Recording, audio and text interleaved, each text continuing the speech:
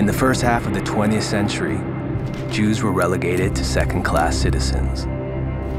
The few allowed into Canada as immigrants faced systemic discrimination. In protest against Hitlerism, Jews took to the streets. They were joined by laborers, union representatives, and left wing political groups. Motivated by different causes, they stood united against fascism. Thousands protested, but swastika clubs continued to incite hostility against Toronto's Jews. No laws prevented this, and so clashes regularly broke out between the two groups.